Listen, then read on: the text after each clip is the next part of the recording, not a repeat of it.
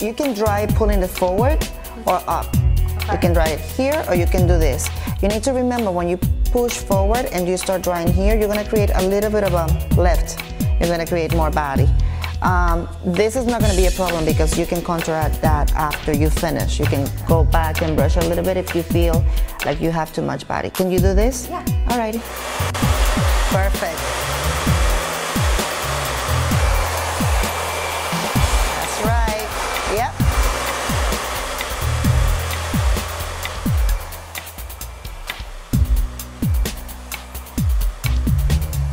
And now, I need you to use a cool shot because that will seal the cuticle of the hair and keep your hair nice and straight.